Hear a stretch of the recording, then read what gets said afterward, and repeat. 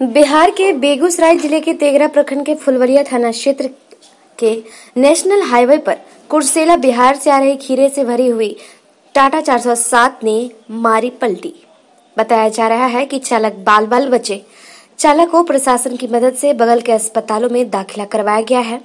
बताया ये भी जा रहा है कि चालक का हाथ टूट चुका है और उपचालक गाड़ी में सवार नहीं थे। प्रशासन की मदद से गाड़ी के पास स्थानीय चौकीदार को भी छोड़ा गया। फिर भी ग्रामीण खीरे की लूट करते नज़र आ रहे हैं। लूटने को लेकर के ग्रामीणों में लॉकडाउन का भी असर नहीं दिख रहा है। सोशल डिस्टेंसिंग की तो दूर की बात है। बेगूसराय टुडे के लिए सोनू सिंह की रिपोर्ट। ऐसे ये घटना हुआ? रात में स्टेयरिंग फेल हो गया था गाड़ी का। अच्छा। ड्राइवर ड्राइवर का हाथ में दाहिना हाथ में चोट है। अच्छा। कहाँ क्या ड्राइवर ड्राइवर हॉस्पिटल में गया। अच्छा। आप कौन है? हम लोग यहाँ का थी नागरिक ज़्यादा क्षति तो नहीं हुई गाड़ी का? प्रशासन ने पहुँचा था कि नहीं यहाँ पे? हम्म, प्रशासन पहुँचा था प्रशासन का आदमी है।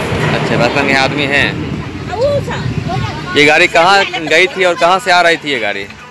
गाड़ी इधर से कुशेला की तरफ़ से आ रहा है। कुर्सेला के तरफ़ से? आ, इधर से कब गई थी ये गाड़ी?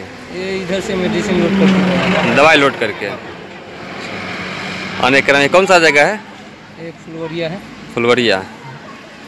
एन एच इकतीस जिला? जिला बेगूसराय पड़ता है बेगूसराय।